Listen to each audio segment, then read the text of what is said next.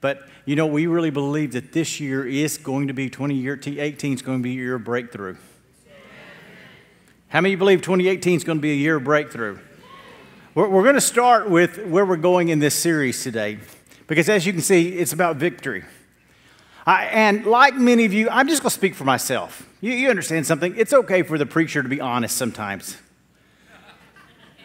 H- how about that? Yeah, you know, we, we struggle, we fight as Christians, and we get overwhelmed, we get taken aback, we deal with everything else the world deals with. And somewhere in my mind and heart, at the end of last year, I began thinking, is this really what victory looks like? In fact, I know this is not what victory feels like. I, I grew up playing in athletics, uh, and I love winning. Let me give you just a little clue about me. I hate losing. I mean, uh, one of my kids are over here, the other two are serving, and they will tell you one thing about their dad is that I have never let my kids beat me at anything. anything. Uh, if they did it, they did it fair and square. But it wasn't without me trying everything in my power to win. Like, you really sure about that shot? You sure about, you sure about that club? You surely you really want to hit that club? You say, you surely don't torture your kids like that. I probably do. and, and honestly, I was tired. I'm going to be honest with you. I was just tired of losing to the devil. So I came back to what I believe God is speaking to me, not just to me, but to our body in this new year. And I really believe today, if you will listen and hear here, God will change your life forevermore. So let's pray over the word today. Lord, we come. There's so many things we can't do in and of our flesh. We can't save ourselves, we can't free ourselves. There's a lot we can do in hope, but Lord, faith does so much more. And so we come this morning, Lord, desirous of what you want for us asking you to open our eyes and ears to hear what you're saying through your word today. And I pray these things in Jesus' name. Amen. Well, I'm going to date myself a little bit. Uh, I, am a child that went from, believe it or not, black and white televisions to color televisions. How many know what I'm talking about? And VHF and UHF channels and fine tuning everything so you could watch your favorite channels. And I remember growing up, there was this one comedian, uh, one, of, one of the first, I think, women comedians in our country. Uh, and she was always intriguing to me because of her looks. And her name was Phyllis Diller. How many of you remember Phyllis Diller? Uh, and now you can look on the internet and they have a, some quotes and some sayings of hers. They call them Dillerisms. I didn't say dilly dilly, I said Dillerisms. and I came across some of those this morning and I thought, these are really funny. Uh, because if you know her and you can hear her saying it, uh, with, with that long cigarette in her hand and, and just in that raspy voice, she says, Whatever you may look like, marry a man your own age. As your beauty fades, so will his eyesight. She said this about being, being a mom. She said, cleaning your house while your kids are still growing up is like shoveling the sidewalk before it stops snowing. She said this about women. The reason women don't play football is because 11 of them would never wear the same outfit in public.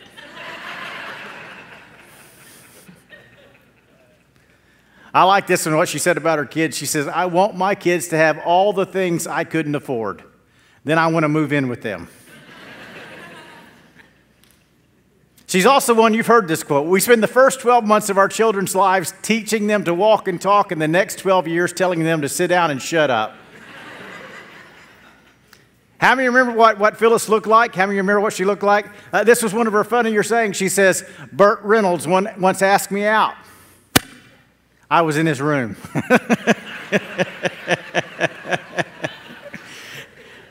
ah. Lastly, she says, You know you're getting old when they've discontinued your blood type. well, I'm going to tell you what I believe today. Not what just I believe, but I know. I know that God wants to bless us. We've already said the scripture, Matthew 6 33, it says, Seek the kingdom of God. I, I think that's where everything starts. Seek the kingdom of God above all else and live righteously, and He will give you everything you need. And in fact, what He's saying here is put God first and His interest first, and He's going to bless you. Now, where we're going today, I have to put the disclaimer on this. Because I, I know for a fact, if you've been in the church any number of years, that people take the Word of God and they twist it for their own selfish interest and wants and prosperity. I get it all. But we've made a mistake in the church, and I'll tell you where we made the mistake. Is that as much as some of that stuff was truth, we threw it all out uh, because we said, you know what, those people went way to an excess. And so we threw out some of the things in the Word of God that are important and vital for us as believers. Today, I'm going to talk to you about your authority as a son and daughter of God. Now, listen to me as we talk about this authority. This authority is not given for your own selfish whims and wants and desires. This authority is given to you for His kingdom. That God wants to work through you for His kingdom. Seek first the kingdom of God, seek first God's interest. And so when we get into this today, this is my prayer is that all of a sudden a light's going to come on. You're, you're, you're going to think, man, I've been a Christian. Well, I've known this before, or I've heard this before, or what in the world? Why is this not in practice in my life? Because when it talks about Jesus in the Word of God, if you've ever read anything about Jesus, it says he came and he taught and he walked around this earth as one having authority. He never begged demons to leave. Uh, he never had to work up faith to get a blind person to be able to see. He just spoke a word. And so he dies on a cross, and before he ascends into heaven and goes to his throne and is seated, in Matthew 28, there's a verse he left us, and we need to catch all of it today. Matthew 28 18 says, Jesus came and told his disciples, I have been given, read it with me. Hold on a sec. Been given all authority in heaven and on earth. All, it, does it say limited authority? Or there are some exclusions that come into play here. That in the 21st centuries, there's going to be autoimmune diseases that we know nothing about here where we live today, and they are excluded from this authority. Does it say that there? It says all authority. So we begin to read through and we say, well, it's just it's the gospel account. No, I want you to understand something. We miss it when we read the Word of God and we don't read it with understanding. We, we read it through the eyes of our needs. Somebody say, Amen. We, we, we read it through the eyes of what we want to see and what we want to hear. And we miss sometimes what it's actually wanting to say to us. So, today, here, here's the principle that's going to happen today. I believe that church is a place that's good for teaching. Amen? Uh, and I, I believe teaching is important, and I'm going to teach today. But I'm going to tell you what's going to happen bigger and better than the teaching. Because I, I believe that some things, when it comes to the spiritual, are caught and not taught that all of a sudden it's like a light. How many know what I'm talking about? A light comes on. Anybody know what I'm talking about? All of a sudden it's just like, wow, there it is. That, that you can walk in the pragmatic and you can say, well, two plus two equals four. That's true. But can I tell you something? Uh, let me give you a little hint today. This is not the mall, it's not Walmart. Come on now. It's not even a place where people are gathered to socialize. There's something spiritual happening here. We are spirit, soul, and body, and God's spirit is in this place. And because of that, something spiritual is happening here today. And you see, we try, we, we try to ascertain the spiritual through our mental and through our physical, and it just doesn't work. The only way Jesus said that you can attain to the spiritual is through the spiritual. He said, A man's not born again physically, it happens through the spiritual. So Paul says in the, in the book of Colossians, chapter 2, look at this, verse number 9. For in Christ lives all the fullness of God in a human body. So you are complete through your union with Christ, who is the head over every ruler and authority. So I want to understand what the scripture is saying today. There is nothing, absolutely nothing, not under the authority of Christ. All demons, all sin, all death, all disease are all under his authority. Somebody say amen. So I'm going to make you understand what our issue is. You ready? Just like, like you, I'm wondering. Man, I'm getting beaten up. I'm getting tore up. I'm getting. And, and, and, is it my lack of faith? Is it my lack of righteousness? Is it, is it my lack of cognitive understanding and wisdom? And, and I'm going to tell you what it is it's none of those things. My lack of victory had nothing to do with any of those things. It was a lack of understanding about the authority that we have in Christ Jesus. We're going to talk about that today. Because I want you to understand something and hear what I'm about to say because we're, we're going to get this teaching in the next couple of weeks. We're building upon building upon building. If Christ is victorious, how many of you believe that Christ is victorious? If Christ is victorious, why are we still fighting? You say, well, we live in an imperfect world. Uh, and in this imperfect world, the prince of the power of the air, the devil, still rules and reigns, and there is still sin in this world. And until we go to heaven, we're going to fight this forevermore. And I'm going to tell you something, I'm going to give you a new understanding on that today. Uh, and we're going to understand how the devil got his power. But we're also going to understand that when we come into Christ Jesus, we no longer fall under that authority and power. Now, you can if you want to.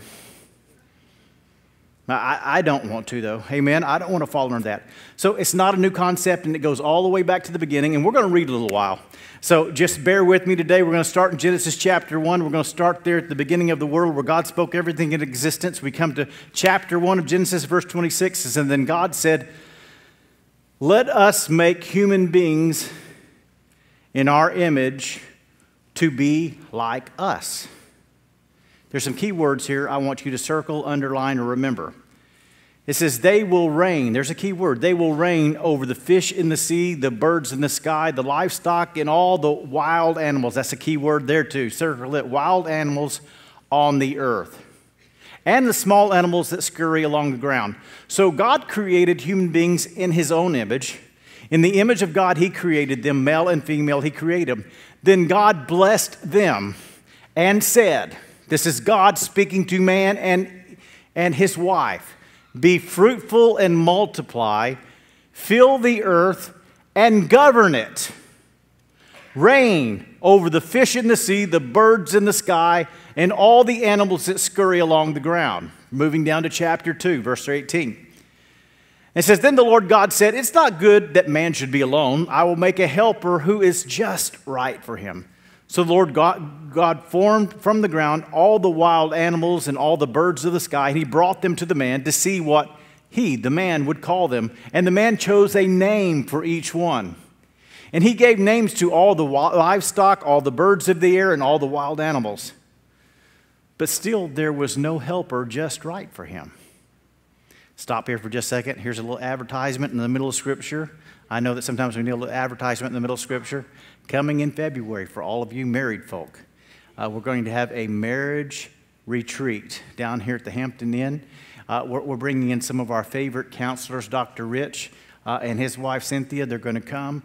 Uh, and I'm going to tell you, it will help your marriage. No matter where you're at in your marriage, it will help your marriage. So I'm going to, you say, well, I can't afford it. Listen to me. There are all kinds of things we can't afford. If you don't want your marriage helped, then you really can't afford it.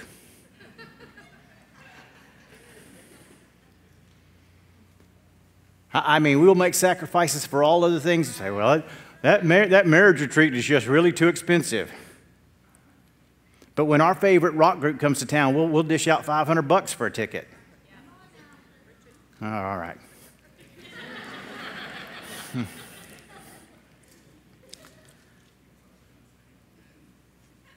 so the Lord God calls the man to fall into a deep sleep. And while uh, the man, the man slept, the Lord God took out one of man's ribs or from his side and closed up the opening. Then the Lord God made the woman from the rib and he brought her to the man. And at last the man exclaimed, This one is bone from my bone and flesh from my flesh. She will be called woman because she was taken from man. This explains why a man leaves his father and mother and is joined to his wife, and the two are united into one. Now, the man and his wife were both naked. This is an important scripture here as well. But they felt no shame.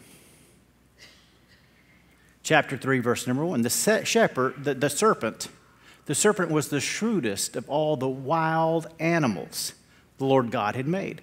One day he asked the woman, Did God really say you must not eat the fruit from any of the trees in the garden? Of course, we may eat fruit from the trees in the garden, the woman replied. It's only the fruit from the tree in the middle of the garden that we're not allowed to eat. God said, You must not eat it or even touch it. If you do, you will die. You won't die, the serpent replied to the woman.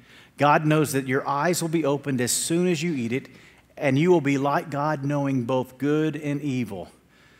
Verse 6 is a key. I've got it circled and underlined in my Bible. The woman was convinced. She saw that the tree was beautiful and its fruit looked delicious. And she wanted the wisdom it would give her. So she took some of the fruit and ate it. Then she gave some to her husband who was with her, and he ate it too. At that moment, their eyes were opened, and they suddenly felt shame at their nakedness. So they sewed fig leaves together to cover themselves. Now, here's the one thing I want us to all to understand here, and we're going to illustrate over here by the kingdom of God. It's right over here, it's on the right side. I plan on living in God's kingdom forever and ever and ever. How many of you plan on living in God's kingdom forever and ever? That is your plan today. Well, let's understand something about the kingdom of God because we can learn a lot from the Garden of Eden about God's kingdom. God's kingdom is full of order and not disorder. Everything and every person in God's kingdom has a place and they know their place. It's not like the chaos we have in the world where everybody's fighting for a place. In the kingdom of God, there's going to be a king that rules forever and ever, and everybody will have a place and they will live in complete harmony and joy and love. There will be a lot of people not being the kingdom because they don't like that concept. Because they want their way. They want their idea, they want their preference. They want all those things, and they don't want that kind of order in their life. And so there's another place where there's going to be complete chaos and darkness forever and ever and ever and ever and ever. and it's a chaotic place where people are going to think what they want to, believe what they want to, be in complete friction and disarray. No peace there forever. Can you imagine? I don't want to go there. But when we examine this story of man in the beginning, we get this picture that man is born as royalty. That there are words that are expressed here that he is going to reign and to govern over everything that's under him seed bearing plants, wild animals, livestock. Uh, he's given the authority to name all these things by God. And so we can get the picture here that man is the Lord of this domain. Now, I didn't say he was God. But a Lord is someone who's been given authority over things. And man is now the Lord over the domain called planet Earth. He's given that authority and power. That the wild animals growl at him and he says, Be quiet. Not appropriate in your house, but you might say, Shut up. and the animals shut up we get this picture of who man is that he is born, created in the likeness and manner of God, and God enables him to come and to rule and to reign. And in this picture of ruling and reign, Adam is walking with confidence. Uh, you understand something? People say, well, he's naked. He's walking in confidence because of who he is in God and the authority that's been given to him.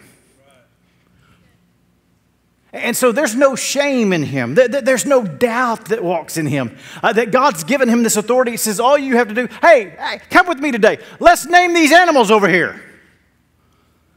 God didn't name them. He said, You come and name them. And so he is the Lord, born royalty, he's the Lord of this domain. But we get a picture here that along comes a serpent. Now, I, I want us to understand something, and, and let's go back and see this. It says the serpent was the shrewdest of all the wild animals. Anybody, anybody saw that? But it also says earlier that when God's speaking over man, he says, and they will reign over the fish of the sea, the birds in the sky, the livestock. Listen to this, and all the wild animals on earth. So I want us to understand something. Adam is the overlord of earth, and even the serpent himself is under his authority. The serpent is under his dominion. The serpent has to do what he says. And the serpent comes one day and he begins speaking to the woman. Now, this is a lesson inside of the lesson.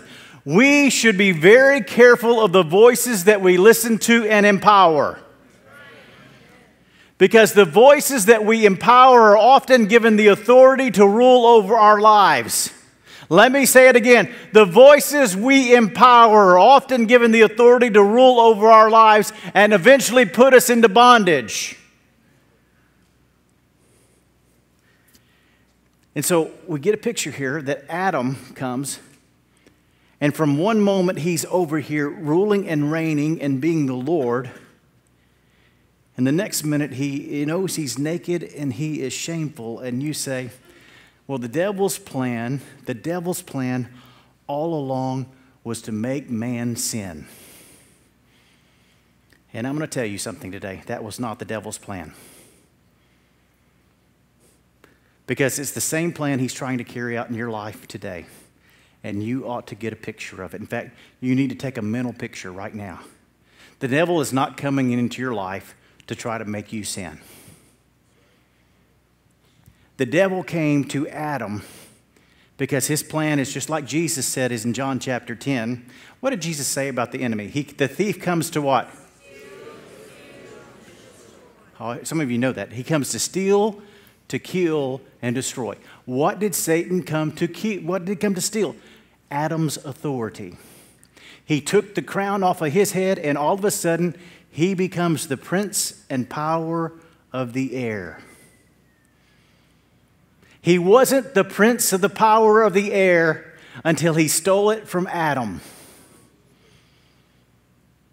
Until he took that throne off of his head, it took him off the throne and took the crown off of his head and put it on himself. All of a sudden, he becomes the ruling authority, and he becomes the ruling authority. Listen to this. Look at this. Adam goes and becomes shamed and in bondage immediately.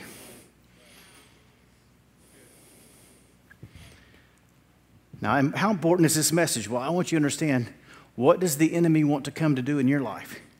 He wants to come and steal. What does he want to steal from you? Your authority. Because here's some pictures if you'll get them, and we don't understand how all this works. Peter says, First Peter says, that we see a picture of Adam, and First Peter says that uh, now we are kings and priests. Uh, can I tell you something? There are a lot of warnings. I wake up and I don't feel like a king or a priest. Anybody know what I'm saying? But he says, We're kings and priests. Paul says in Romans, Oh, you're going to like this. The first Adam comes and he relinquishes authority. And then he says this But the second Adam comes, who is Jesus Christ. Listen to this, and he takes it all back. Come on now. He takes it all back. In Revelation chapter 1, he says, Look, I have the keys. He's already been defeated. I have the keys. I, have already won all authority in heaven and on earth are now mine. That behold, the Word of God says, Behold, there is nothing that's not under my feet. But we're over here fighting the devil. Ah, come on, devil. The devil's just beating me up. Can I tell you something? He's not beating you up. Did you hear what I just said? He doesn't have to beat you up. When he takes your authority that you don't know who you are, he can come at will and do whatever he wants to do. The only time that you have to put the armor of God on, listen to me. In Ephesians, you say, There's the armor of God. What's that all about? When you come to your understanding of who you are in Christ Jesus, He's immediately going to come and bring indictment and fight against you. He's immediately going to come and whisper in your ear and say, You've always been a loser. This has been in your family forever. And He's going to bring these indictments because He's the accuser of the brethren. Just like He done at the beginning, He's going to do again. And if you don't know who you are and who Jesus is, you're going to buy into it hook, line, and sinker. And all of a sudden, you're going to be one of these people. Well, it's the grace of God. I just hope I make it to heaven. Listen, Jesus is victorious. And here you are, mealy mouthed in his kingdom and his authority. He says, I've won. I'm not so sure. Don't feel like you've won. I'm getting beat up all the time. So, this is what I believe. Oh, it's, it's we're, we're going to run deep today. You ready? It's not about what you learn up here. Paul prayed for the church in Ephesus, chapter 1, verse number 16. It's the prayer I've been praying over my life. He said this I have not stopped thanking God for you. I pray for you constantly.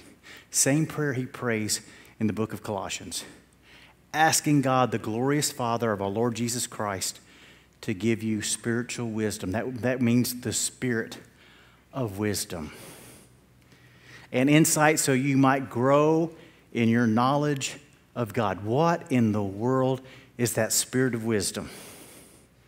He's going to elaborate and tell us what it is. Listen, I pray that your hearts will be flooded with light so you can, here's the key word, understand the confident hope he has given to those he called, his holy people who are rich, who are his rich and glorious inheritance. Let's stop here and let's go back to that so that you can understand the confident hope he has given you.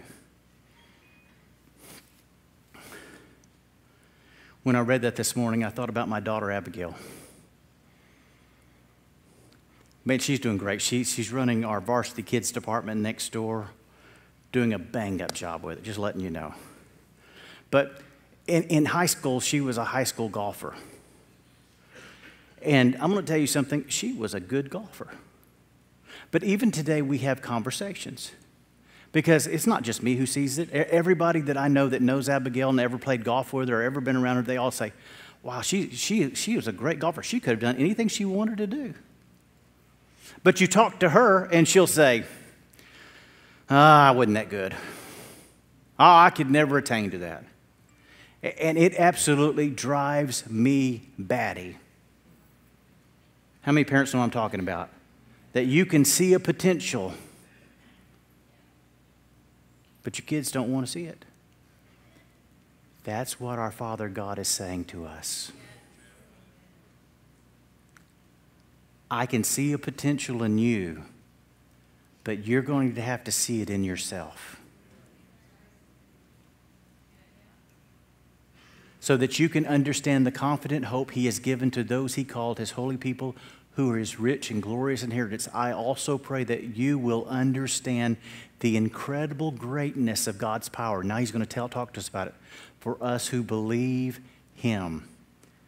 This is the same mighty power that raised Christ from the dead and seated him in the place of honor at God's right hand in heavenly realms. Now, that's important. Stay with me because here we get a picture that Christ, he's come to a place of completion. His work is done. He is seated on the throne. Verse 21 says, Now he is far above any ruler or authority or power or leader or anything else.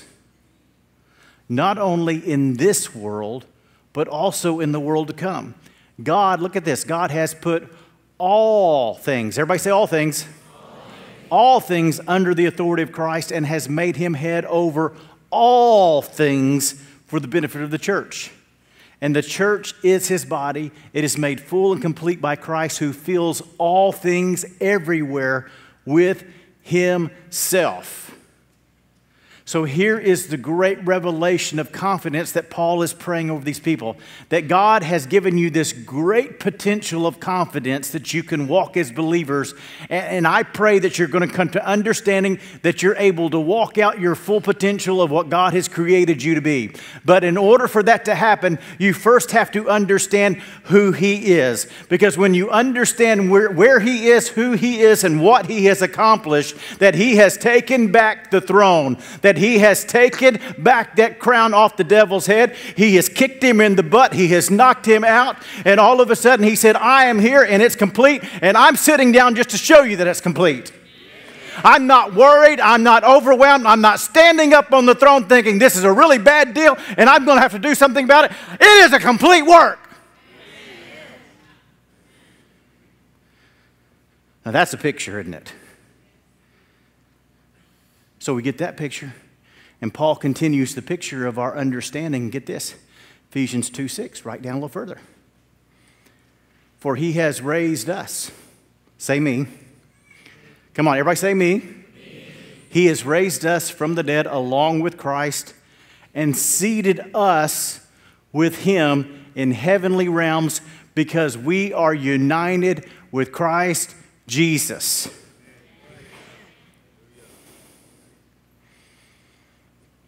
Let me illustrate this for just a moment because we don't get it. You say, oh, it's a bunch of flowery language we can't understand, written in the original Greek language, and we just can't comprehend it. I'm going to tell you something, we can perfectly comprehend it. We're letting the devil hand our butts over to us every day, and we're not walking in victory because we don't understand our authority, because we don't understand what he's done, so we can walk in that authority that he's given us the power of authority to walk on his behalf on planet Earth, just like it happened with the first Adam, that he's given us that same type of authority that we don't have to walk and be defeated.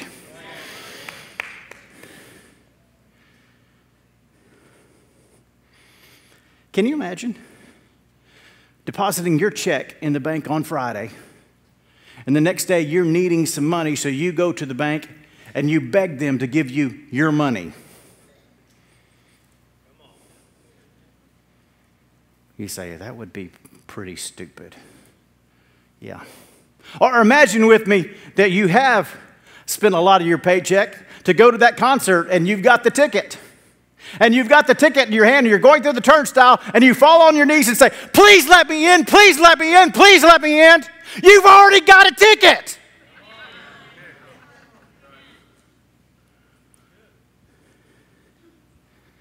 But you know what? That's what we do as Christians. Because when we change our understanding, it changes our prayer life. You see, there are a lot of things because we don't understand who He is and who we are that we're begging God for that He's already given us. Oh, Lord, would you please make this devil leave?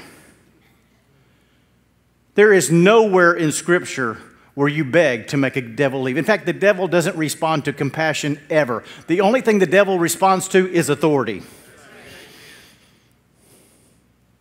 Jesus never begged sickness and disease to leave. He was snatching back, he was, man, backslapping that devil and, and kicking him in the tail and taking that crown off of his head and saying, You know, it's not yours. But what has to happen is this there has to be a change in our understanding and embrace. Can I tell you something? I want to be in this kingdom of order. Where everything and everyone has a place. You say, Well, I'm not certain God has a place for me. Oh, really? Jesus died on a cross for you, and he has no place for you. What sense does that make? He sent his only begotten Son to die for you, and you think that he doesn't love you? He loves you. He loves you and wants the best for your life. So here's where we're going today. Is there anything that's not under his feet? Now, Ephesians tells us this, it takes a step further that here he is seated in high places, and the Word of God tells us that we are now with him in union. in covenant, in a new covenant. Uh, and we are seated at the same place. And so, if everything is under his feet, guess what's under our feet? Well, wow.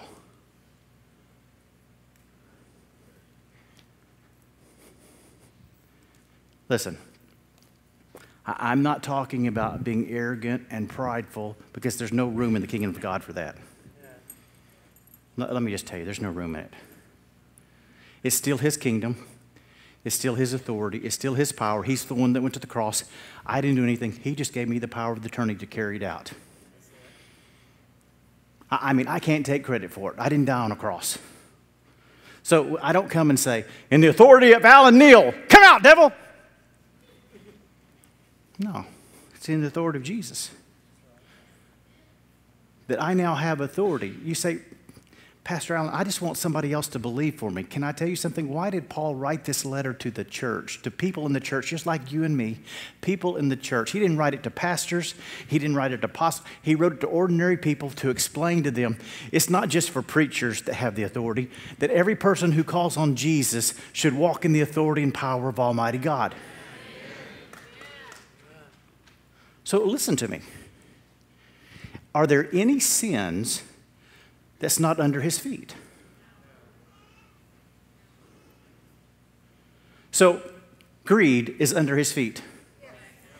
Lust is under his feet. You see, we play with a lot of things that we shouldn't play with, that we should just take authority over. Devil, that's not, that's not a part of me. That's not a part of my redeemed nature. And I take authority over that lust right now in the name of Jesus. And guess what? It has to leave. There's not a multiple choice, it has to leave. Why does it have to leave? Because he's already defeated. But hold on just a second. Here's the greatest tool. The greatest tool he comes at us with is not a sword, it's not a spear, it's not even a bomb. The Word of God says that he is the accuser of the brethren. Who do you think you are? I saw what you did yesterday in private when everybody left and you're looking at the computer by yourself. I saw how you treated your wife and kids yesterday. Who do you think you are? You don't have authority. Just stay in your place.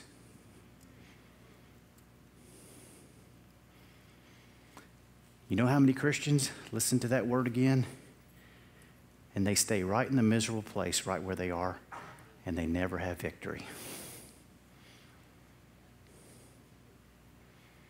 They're the people that espouse, I'm all about the grace and mercy of God because you can't get here by yourself.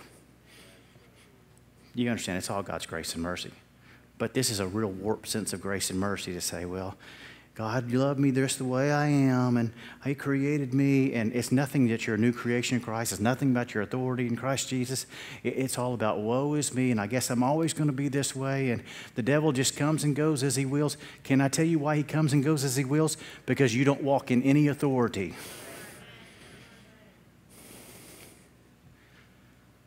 Ooh, this is good preaching today.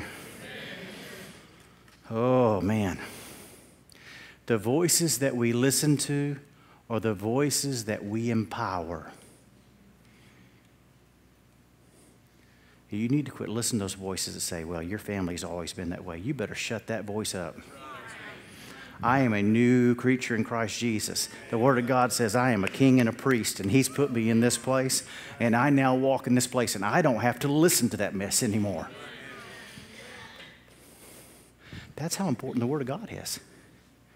You got to silence. That's what Jesus did. The devil didn't come to him with bombs. He came to him after 40 days of fasting. First and foremost, he said, If you are the Christ. And then he used scripture, and Jesus said, oh, No, you're not going to play that game. Uh, you're not going to play that game on me. And he threw it right back in his face and said, No, you don't have that authority. He come to him and said, listen to what he said, I'm the prince of the power of the air, and I can give you all of this. Can you imagine telling Jesus, I can give you all of this? Uh, we laugh. It sounds stupid. Jesus doesn't fall into the trap because he knows. I'm going to let you think you whoop me and put me on a cross. And then I'm going to go down to your domain and I'm going to give you a double fist of whoop right then. and I'm going to take everything you have and all the people to this point that you think that are yours, I'm going to preach to them and I'm going to set the captives free and I'm going to set up a new kingdom.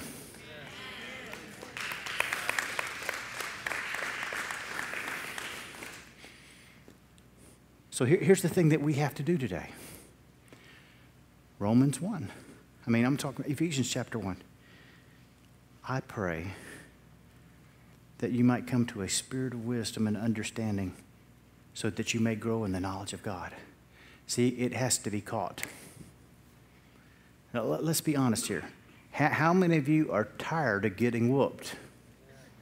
No, come on now. How many of you are tired of getting whooped? I mean, I was talking to Doug this morning. Uh, he could get up and tell you his story, and you, you would hear what, how his last two weeks have been, and you would say, all that can't happen to one person. I mean, anything and everything vehicles, home, I mean, everything eh, you can imagine, kids, all under attack. And I said, here's the obvious thing we know this isn't an accident, this is the devil. He's overplayed his hand. So we're just going to take authority over him right now. Guess where you are? Under my feet.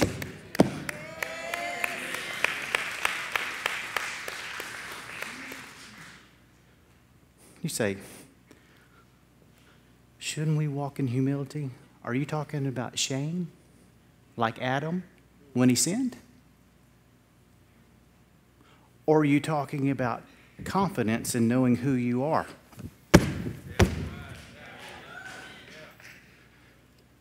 I'm not going to walk in shame and apologize for putting him where he ought to be. I'm not going to apologize that he's brought divorce to your family for years and now he's wanting to destroy your marriage. I'm not going to apologize for that. I'm not going to apologize that you believe that you have inherited mental illness. I'm not going to apologize for that.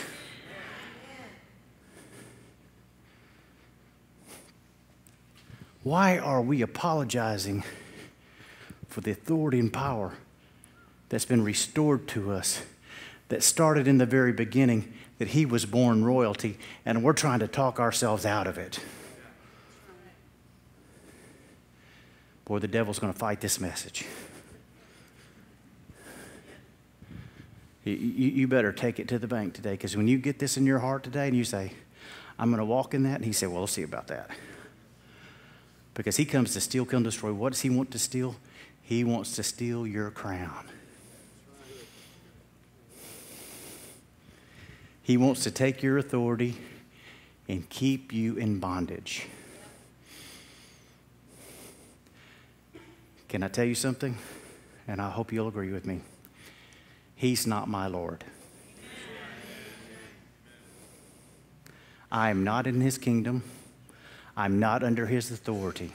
I'm in a new kingdom under a new authority, and I'm seated with one who already has the victory.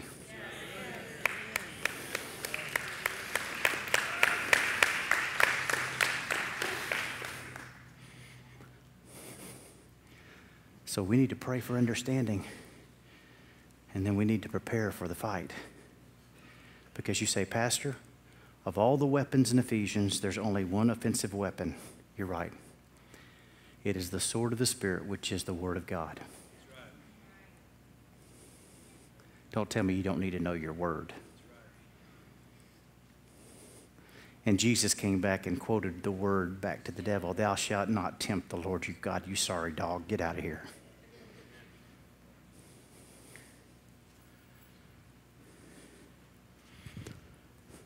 Today, you say, Pastor, I want everybody to bow your head and close your eyes. I need to catch this revelation. If that's you, I want you to raise your hand right now and say, Pastor, I need to catch this revelation today. Pastor, I need to catch this revelation. Come on, raise your hand. People can't. People raising their hands. I need to catch this revelation. I, am tired of walking in defeat. I, I, need to catch this revelation today.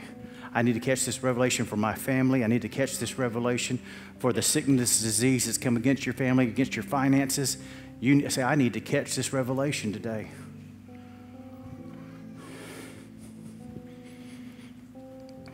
Now, here's what's going to happen. His hands are going up. Something's happening right now. Because all of a sudden, there's a move happening that you didn't expect because of the authority. There's healing going on in this place right now. There is freedom from addictions going on in this place right now. There's all kinds of things happening right now because the word has gone forth and you're responding to the word that does not return void. You know, some of you are already standing. If you feel like that's what you need to do right now, just go ahead and stand and say, That's me. I, I know that God is leading me into this revelation. Go ahead and stand up. If you've got your hands raised, just stand up right now. Just stand up right where you're at. Just stand up. Just stand up. Just stand up.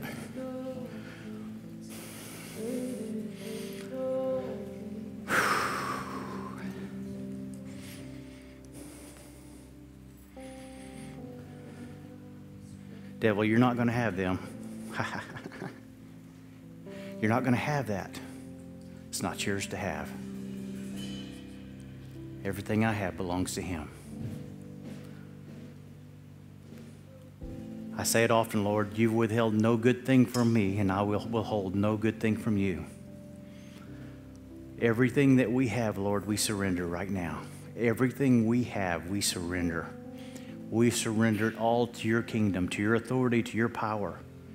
And we speak to all sin and death that rules and reign our life and say, You have no longer have authority. We are marking our boundary today. And in the name of Jesus, I declare freedom right now in the name of Jesus. I declare healing right now in the name of Jesus. Devil, you are underfoot today. If you're here today and you've never walked in the kingdom of God and you walk in shame and guilt and you walk in bondage and you say, I don't want to walk in that any longer, I'm going to give you the opportunity when we close today. We've got a prayer team up here and they want to pray with you. Maybe you say today that, you know what, I need to establish this with someone else because the Bible says where two or three agree, we're going to agree. The devil is underfoot in this area of my life and I'm going to agree. You need to come up here today and you need to pray with somebody and you need to agree with them today. Because in that power of agreement, things are established in heavenly realms. Amen? Things are established in heavenly realms. Seek first the kingdom of God and his righteousness. Seek first the kingdom of God and his righteousness, and all these things will be added.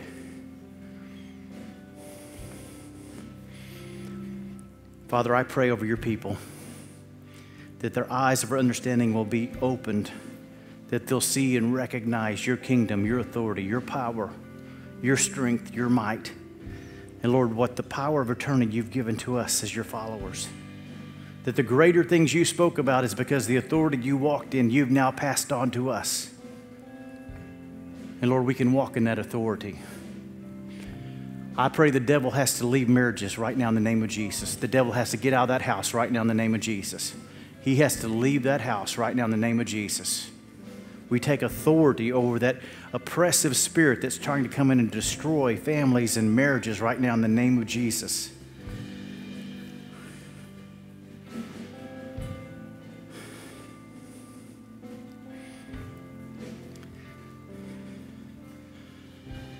Some of you are already under attack for this message, and you know it. And if you if you're under attack, I think we just need to we need to have a concentrated prayer for you today. If that's you, I want you just to excuse yourself and come up here, come up forward right now, and say, "I'm, I'm under attack, and I know it mentally, physically. I'm under attack." Come on, just don't wait for anybody else. Just come on up here.